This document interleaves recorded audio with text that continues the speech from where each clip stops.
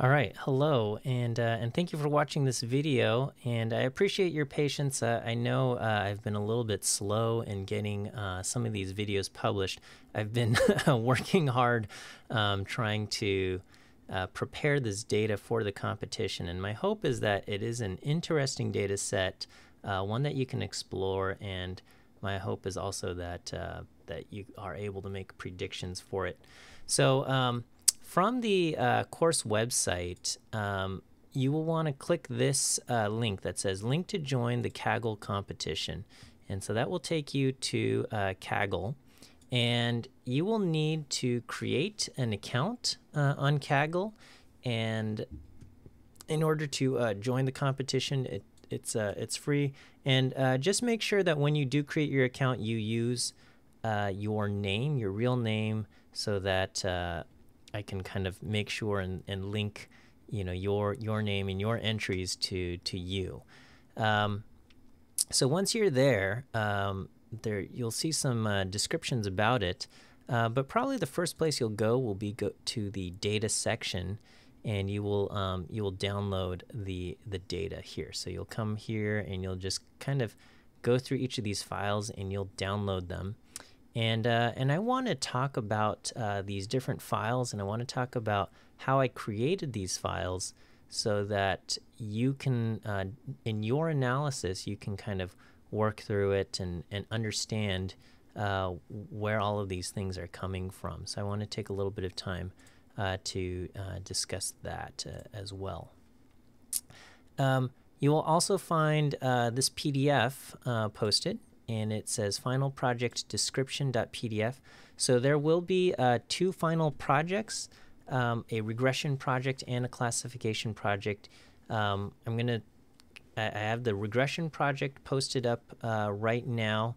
And, uh, and in a few days, I will have the classification project open, and the, uh, the deadline for the classification project will, uh, will come uh, after. So you'll have some time to work on both and and hopefully all of the kind of skills and things you learn from the regression project will will translate well for the classification project obviously things will be different um, but hopefully um, it will make sense so uh, the grading of the uh, the final project uh, will be primarily be your report and script verification and then a small portion will be uh, you know associated to the competition performance. So I do want you guys uh, to be motivated to uh, have a well performing, um, uh, I guess, predictions.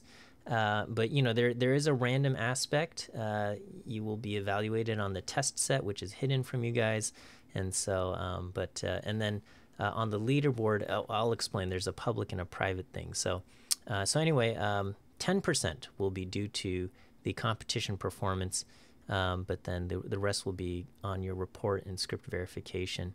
And basically, if you uh, rank in the top three, uh, you will get uh, extra credit.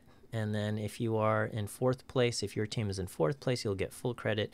And then basically you'll lose uh, some points, you know, kind of everything after that. And so if you're in the kind of the, the lower um, lower half of the class, you'll you'll only get uh, some of the points. Okay, so the um, the competition is conducted on Kaggle, and your job is to create a supervised learning model that's able to make accurate predictions. Okay, uh, and and these rules and guidelines apply both to regression and classification projects. Obviously, the variables and what you're predicting will be different, uh, but basically you'll get a training data and a test data set. Uh, the training data will contain all of the input variables and the output variables, whereas the test data will only have the input variables and you make predictions for the output or the, the test variables. Okay, and then um, your homework three assignment basically walks you through creating kind of your first set of predictions. Okay, so um, when you go to Kaggle, you know, uh, register for it, and then under the team, uh, you will um, want to create your teams. Okay, so um, invite, you know, somebody will be the team leader. It doesn't really matter who, and then you'll kind of invite um, teammates to join your team. And so this should align with uh, you know the teams that uh, that you produced on the or created in the um, Google uh, Google Sheet. Uh, so use that and uh, and create your teams. And part of your very first homework assignment is as a team to submit uh, your first set of predictions, just as just to kind of push you along, make sure you are keeping up and and and making making predictions and getting everything to work. So um, so yes, uh, join Kaggle, create an account, create your team, and then um, you know kind of walk through homework three, and uh, and that should help you know help you kind of prepare your first set of predictions that you can then uh, submit. Okay, so uh, the way it kind of works on Kaggle is that on the prediction file. Okay, so um, I think here I've got uh, the test submission. Uh, where did it go? I'm looking for it. Okay, all right. Okay, so I think these test submissions were created um, using kind of a, a, random forest model in um, uh, in R for kind of this is kind of what you'd get if you followed uh, the homework three instructions. And basically, so in the test um, file, there's what 2,952 uh, predictions uh, made. All right, and about 80% of these are in the uh, public leaderboard, and 20% are in the private leaderboard. Okay, so when you submit this, when you submit your test submissions, okay, on uh, on the leaderboard, it will tell you this is your score. This is your score based on the uh, the public uh, data set. Okay, and um, it's the mean squared error, and so you want um, you want kind of the lowest here, and then uh, but then the final rankings. Okay, which are okay. Well, this is this will be hidden from you. It's available for me to see. Okay, the final rankings will be based on the private leaderboard. Okay, so this is just to kind of avoid. Um, I, I, guess you will get penalized if you overfit the public leaderboard. So if you kind of keep going back and forth making submissions to try to tweak this as low as possible, you might end up be overfitting the um, public leaderboard, whereas you know your private leaderboard might actually be lower. So so you don't um, so you want to kind of avoid that. Uh, obviously, you know, cross validation will help you avoid that, but it's not, um, it's you know, it's not perfect. And uh, again, you don't want to use the test data as part of your modeling process. You kind of want to do as much of your training um, uh, based on the training data, and you don't want to kind of say like, okay, this this one, uh, you know, I eked out a few more points in the test data, and so therefore it's it's the better, uh, you know, uh, in this iterative process where you're kind of just trying to eke, eke things out because you might end up overfitting the public thing, whereas the final rankings will be based on the private. Okay, so um, uh, and you don't know which of these are public and which of these are private, uh, but you'll submit this and um, and it will kind of you know give you a score uh, based on that. So.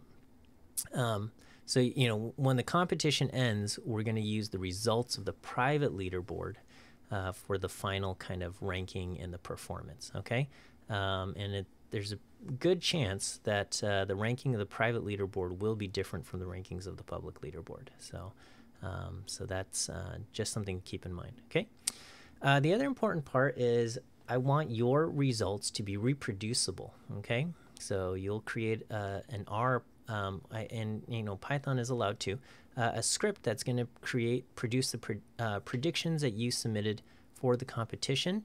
Uh, this script um, doesn't need to produce graphics or any other kind of output used in the report. The script should just be run, and when it's done running, it should produce the um, predictions. Okay, so you'll use the train model for the predictions, and basically everything should be done using the predict function. I don't want to see things at the end where you're just kind of replacing values um, manually or using um, uh, you know at the end of the script okay uh, everything should be using whatever model that you used okay Uh, the script should begin with loading the training and testing data as they appear on the Kaggle uh, Kaggle data page, and um, and you should be uh, using that. Now, if you know anything, if you're doing some feature engineering, if you're um, doing any of that, that should all be kind of um, produced uh, as part of the script to uh, to produce your predictions. Okay, final line of the script should be uh, whatever you know, basically write write underscore CSV that produces the CSV files um, that that you submit to Kaggle. Okay. Um, if this script doesn't run, okay, we'll, we'll we'll test this out at the end. If the script doesn't run, if there you know produces errors, then you know that that's going to be a problem. So um, so make sure uh, before you kind of submit your predictions and whatnot, make sure you're able to kind of reproduce the results, you know, on on a teammate's computer. So you you run it, you should be able to give it to a teammate, and they should be able to produce the same results. Now there is kind of one warning and one exception that, that I'm willing to accept is that uh, some of the packages, so be, with tidy models, you can kind of load up other libraries and, you know, Parsnip um, makes calls to these, and sometimes those have their own kind of random thing. Um, so even if you set a random seed in R, sometimes using those other things ends up you know, when you run it on someone else's computer, they end up producing slightly different results.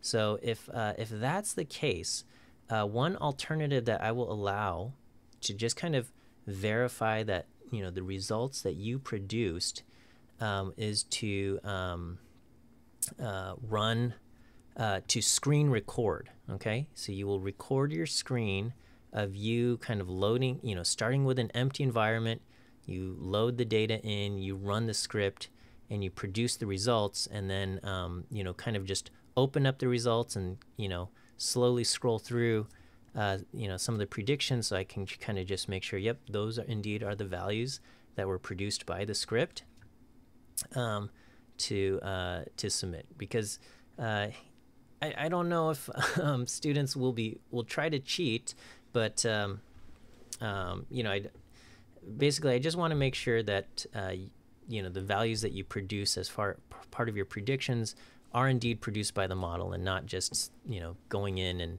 and manually editing um, some of these these values here. Okay, uh, so if you screen record, um, that will be acceptable, and uh, and you can kind of upload you know that uh, the video of your screen recording to say uh, you know like a private YouTube channel or you know uh, private you know Google Drive folder and uh, and you can provide me a link with that and I would accept that um, if you're uh, if you're not able to reproduce your results with the script I, you know the produ- reproducing your results with the script is the most ideal situation but if for whatever reason it's not um, being you're able to reproduce it I'll, I'll accept a screenwriting okay um, and then um, uh, you know regarding the report uh, here, here's an outline of what I want to see in the report.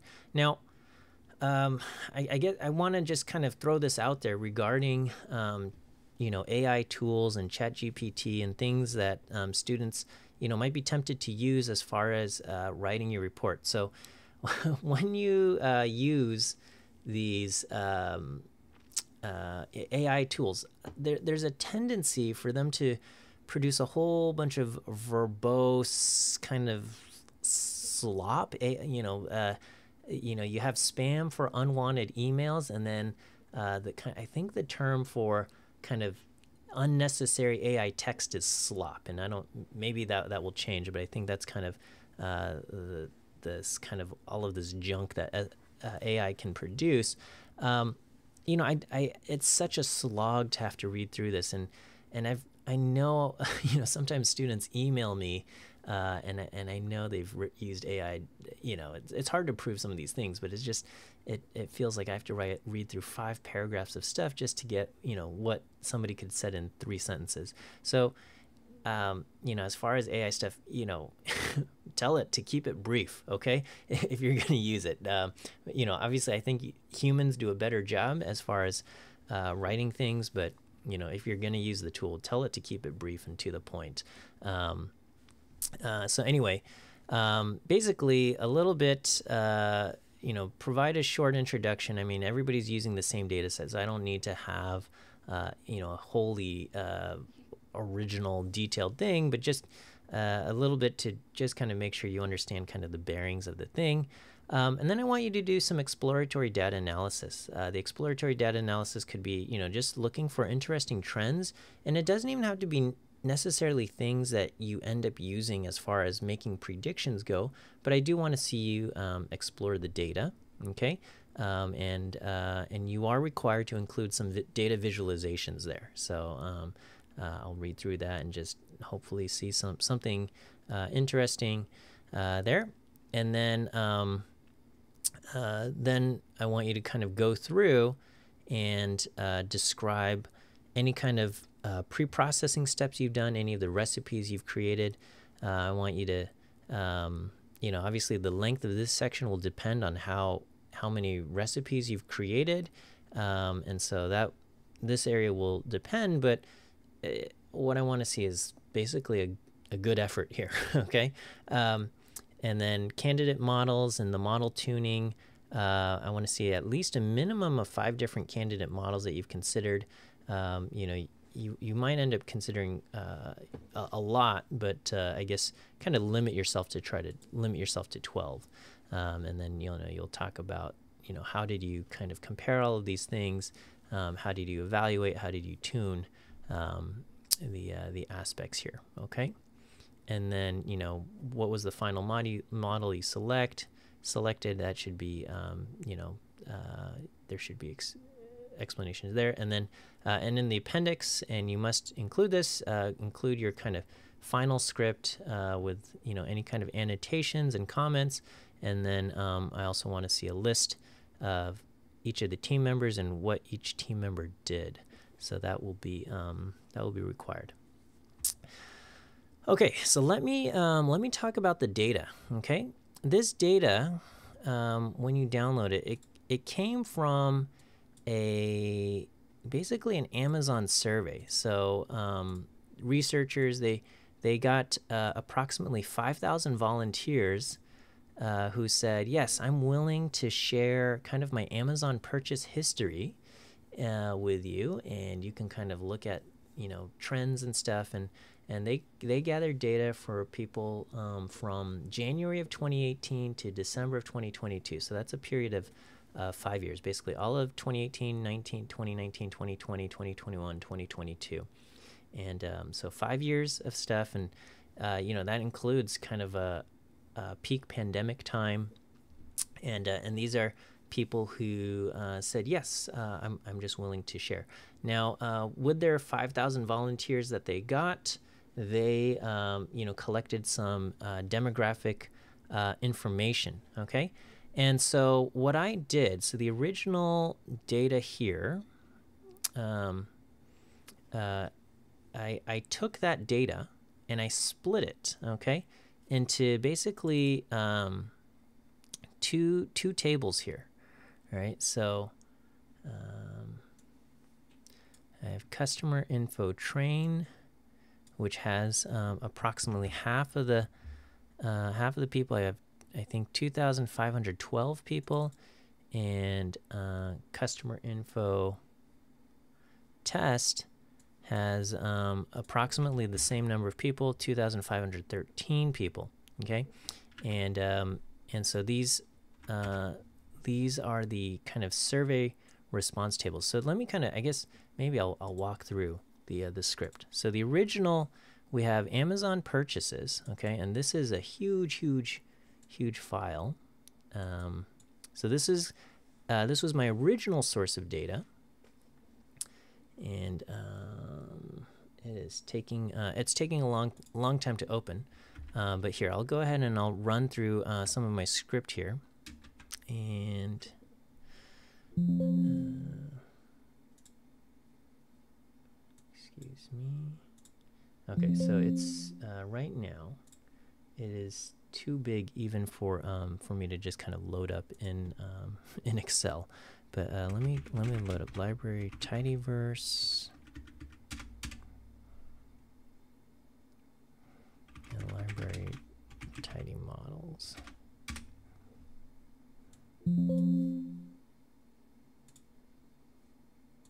Okay, so here's um, I, I got I got I got it kind of open in Excel, but it, it gave me a warning that it's gonna, you know, uh, it reached the end of uh, Excel's workbook file, and um, if I were to save this, I would lose a lot of information.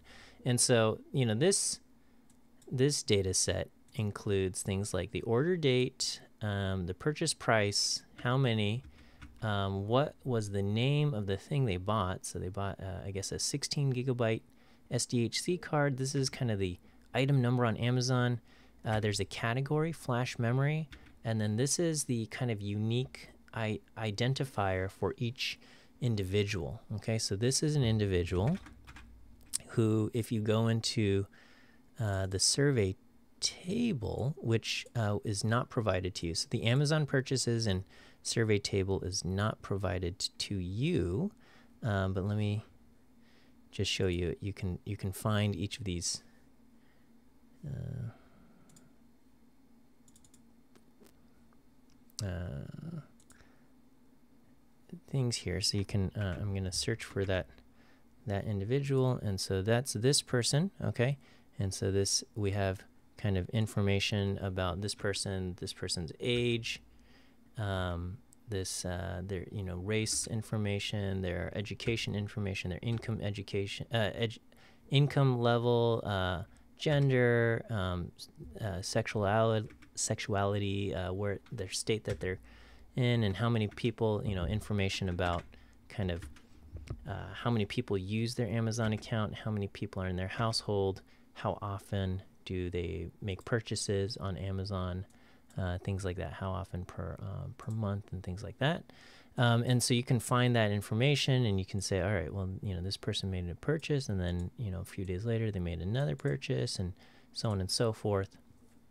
Uh, and so this this table has has lots and lots of information. So let me just kind of go through the, the script. So first I kind of loaded up the entire um, Amazon purchases uh, data frame or uh, CSV file. And, uh, and so you can see there were, um, you know, 1.8 million, uh, 1.8 million uh, entries in this thing. And, uh, and there were a few, um, I guess, problematic entries. One, one we had order dates that came after uh, 2023, so came after the kind of data collection period, and uh, and I'm, I decided to remove anything that came before January 1st, 2023, because the number of orders placed um, after January 1st, 2023 was inconsistent. Um, some states had no orders, some states had, um, you know, still had some orders, and and uh, it was just kind of an inconsistent reporting period. So to kind of kind of keep everything consistent, we I, I chopped chopped it down, and so that reduced it. You know, that got rid of around forty thousand entries, um, and then it kind of got that.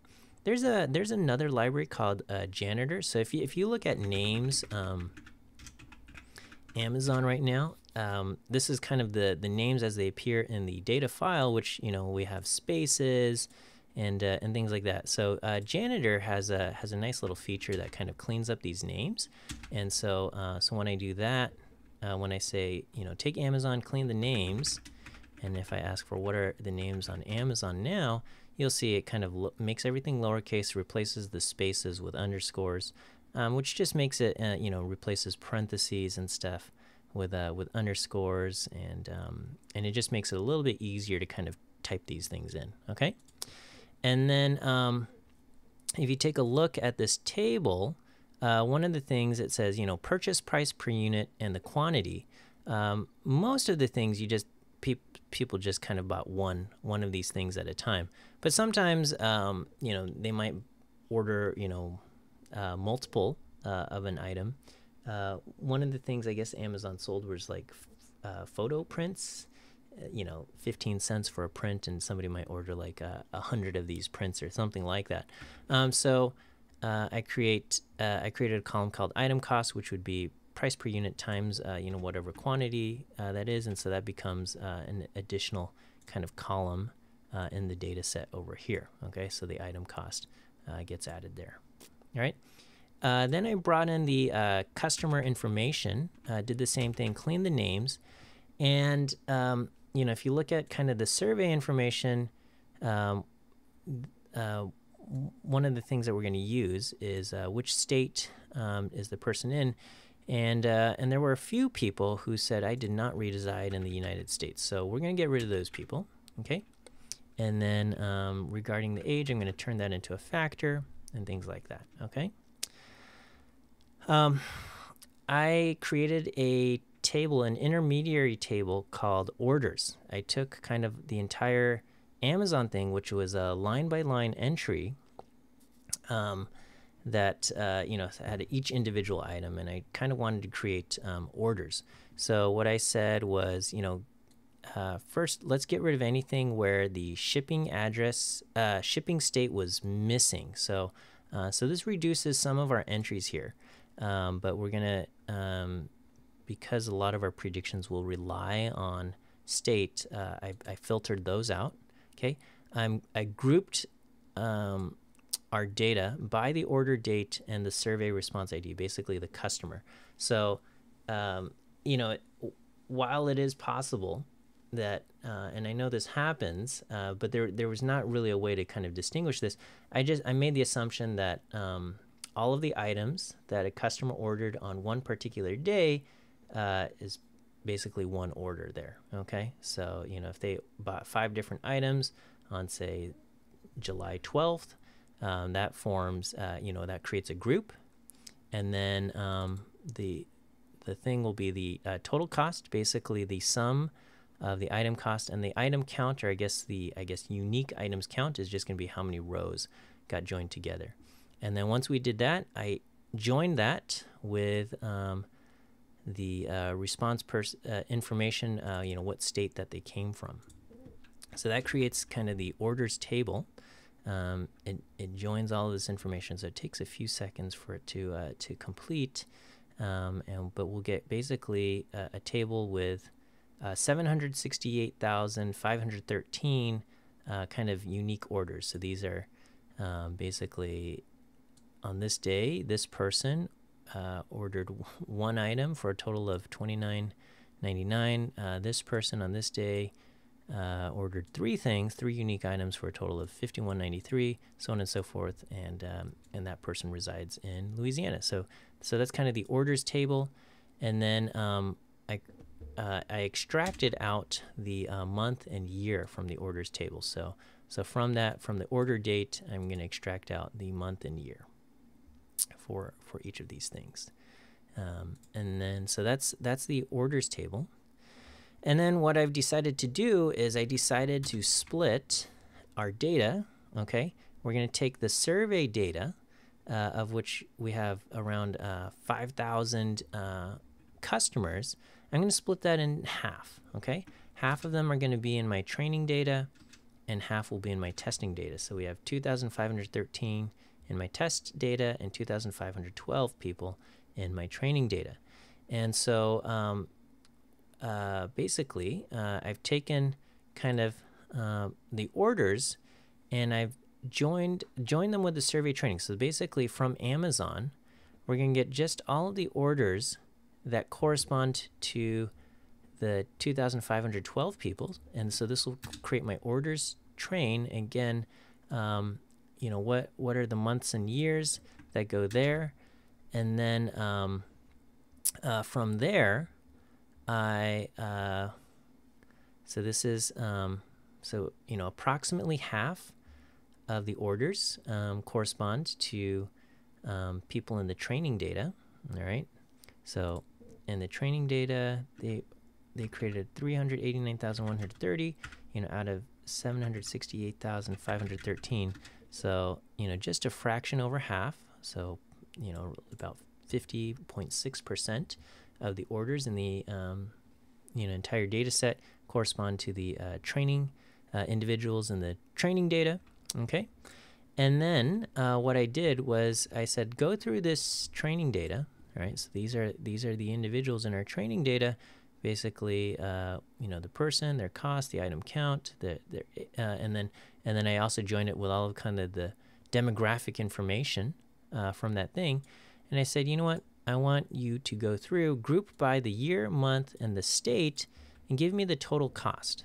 Okay, so um, so when we do that, that's going to say, all right, in um, January of 2018 in Alabama, the total kind of cost, the total cost of all of these things. So if I were to say filter to, um, we want a 1, okay? And I only want uh, for 2018, right? And then I only want, uh, oops, Alabama, okay? Um, if we took the, the total cost of these orders, okay, all of these different orders, there were, I guess, uh, uh, 53 entries here. If we add them all up, we get, uh, um, I think it would add up to this number. That's what that's what it should do. Okay, so um, so that's what we have, and so I said, you know, group by. I want the um, kind of the sum of the total cost. That's going to be or order totals. Um, I took the log of that, okay, just because some of the states are, you know, like California is really big and it's producing, you know, its order totals, you know, like 10 times bigger than in other states or even, you know, 50, 100 times bigger. So, um, so we're going to take the log of that. Uh, I said, you know, give me the count, uh, how many kind of orders uh, get summarized, and then go through and tell me, okay, in total, how many, um, you know, how many people are female? How many people are male? How many people um, have bachelor's degree? Um, so I only did, uh, I didn't do every single one of these uh, demographic things. I did um, things that I thought could be, you know, more revealing. So uh, uh gender, uh, count of female, count of male, um, how often they placed orders on Amazon. So less than five times per month, five to 10 times per month, more than 10 times per month. Okay. Um, how many in their household? Uh, so one person, two, three, or four or more people in their household. How many people use the share the Amazon account? So you know you might have two people in the household, but each one have their own account, so nobody shares. Or you know both people might place orders on the same thing, right? Like um, you know you know parents you know everybody on the family maybe uh, shares the same account. All right and so that's on the how many. Um, this is information about the primary account holder. So you know what is the age of the primary account holder? This is income information on the primary account holder you know uh, how much income do they make per year? And then this is education information on the uh, primary account holder. If you look at kind of the um, the this survey data, which I, I think uh, customer info test and customer info train, you'll see you know there's additional things, um, and and so if you want to kind of go through and make you know things that are a little bit more robust, uh, you have that that option. But um, uh, but here, uh, this is what we get monthly by state train, and so um, so here you know here was uh, I went through and I filtered it just to January of 2018 in Alabama, and we have a total of 53 entries.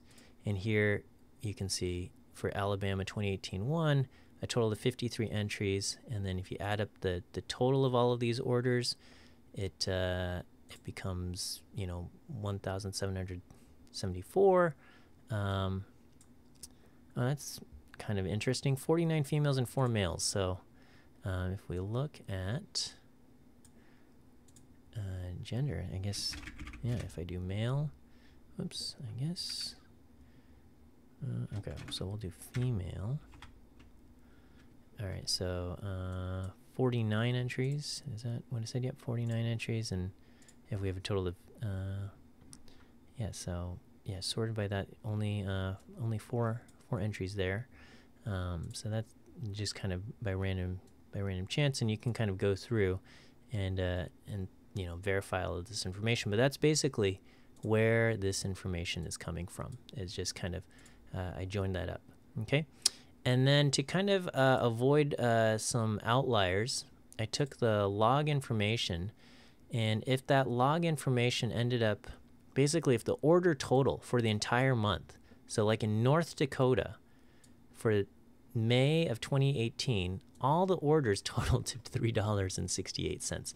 Basically, there was one person who ordered one thing, and it was a total, you know. And so this was not something I wanted you to try to predict.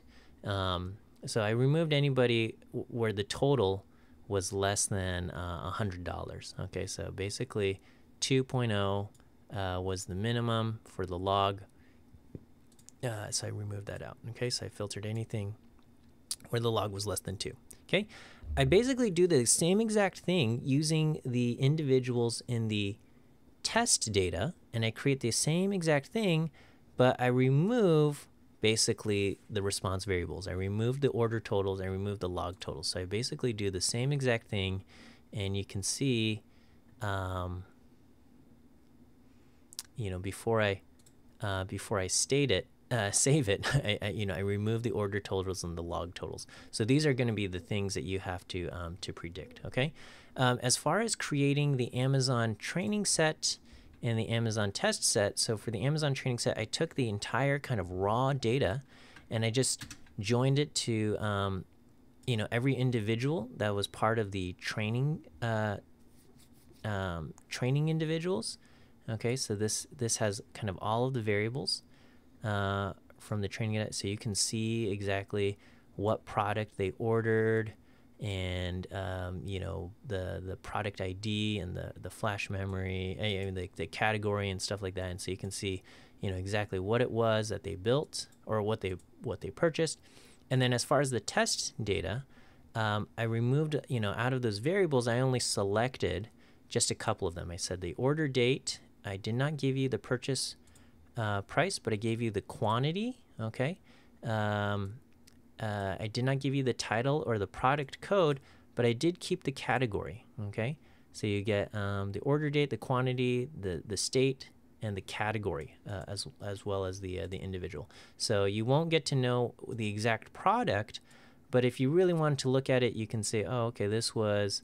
Um, you know, these were headphones, or these were, um, you know, a, a, mouse, or, you know, some some kind of uh, different kind of products. Okay, so that is um, uh, that's how the Amazon test data set gets created. Okay, and then um, and then you know the the test data and the training data. So that that all gets written out, and then um, and then I created my solution file for for Kaggle. So so hopefully that gives you a little bit of information regarding um, how uh, the data sets were generated and what you're looking at.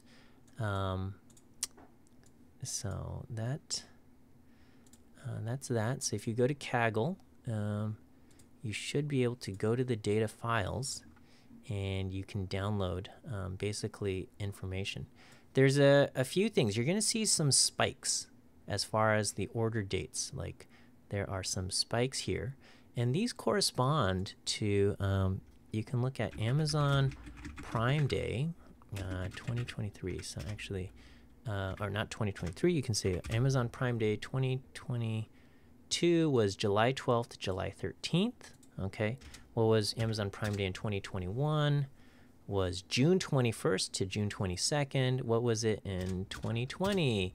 That was um, October 13th and October 14th. Okay and then uh, 2019. So Amazon Prime Day is just kind of like this random where they are arbitrarily selected things. Okay, July 15th and July 16th, and so you will see spikes in the data set corresponding to that. Now, as far as predictions go, as far as predictions go, uh, I did not ask you to make predictions based on the date. I just want you to make predictions. Okay, so if you look at um, the the data set, okay, so the the training data, um, the the quantity that you want to make prediction uh, for is log total. Okay, I, I also provide the original order total and basically log base 10 gives you log total. So the test data gives you the same columns other than the order total and log total. Okay, so you will get um, basically, uh, so based on the state, the year, the month, uh, you know, this other information, I want you to predict, um, you know, basically how much uh, the total month's orders were. Okay, uh, so if you you know if we look at, uh, you'll you'll see some some trends and patterns as well. Uh, generally, uh, November and December, there's a lot more kind of ordering because of holidays, and then you'll you'll always see like kind of a drop going from December to January. Okay, So December, uh, November, December, and then a drop to January, and things like that. So that that's going to be um, uh, some some seasonal trends that you'll notice. Um, you know, certainly, uh, you know, different kinds of uh, information. So that's all in there. And then again, the the customer information for the individuals part of the test data set, customer information for the individuals part of the training data set. Okay, a little uh, some information about uh, data descriptions regarding kind of some of the variable columns and whatnot. And again, if you want additional information, you can kind of uh, go through that, and uh, and you can kind of go through uh, the the test information, so you can see um, uh, all of this as well. So. It is possible to create models using just the training CSV file, and you don't have to use any of these other CSV files if you don't want to. Okay, but they're there in case you wanted to enhance your um, your models. Okay, so in case you wanted to um, take basically uh, some of the CSV files uh, from the um, and uh, and try to you know calculate uh, additional variables and things like that. Um, you know you can do that. So that's um, that's uh, an option available to you. Uh, some of it might have to you might have to script that uh, yourself. Some of it you can use in conjunction with tidy models. Um, so these these additional tables are available for you to use to enhance your predictions. You aren't required to use them. It is possible to create models um, using just uh, the training uh, training and test CSVs as well. Okay. Um, hopefully that that gives you a good sense of how uh, where this data is coming from. And um, thanks for uh, thanks for watching.